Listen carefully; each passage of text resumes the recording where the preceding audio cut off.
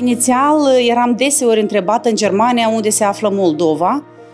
Actualmente nu mai apar astfel de întrebări datorită tendinței democratice din țara noastră în ultimii ani, pașilor sigur spre integrare europeană, luptei contra corupției și valorificarea culturii și educației.